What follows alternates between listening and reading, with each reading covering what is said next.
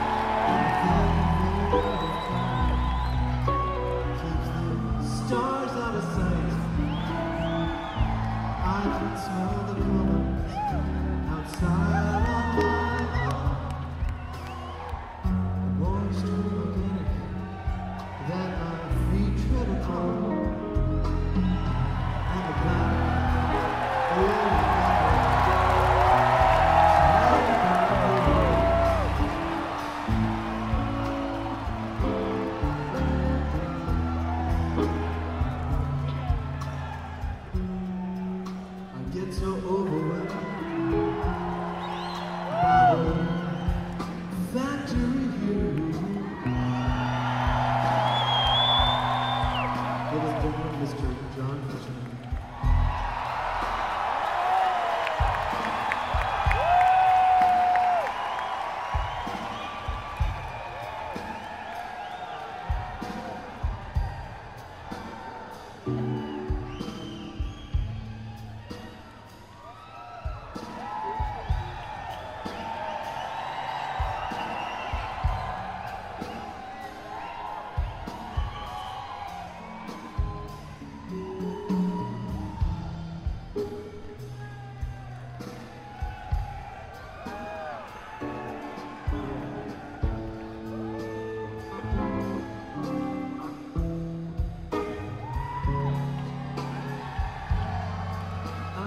so overwhelmed by olfactory.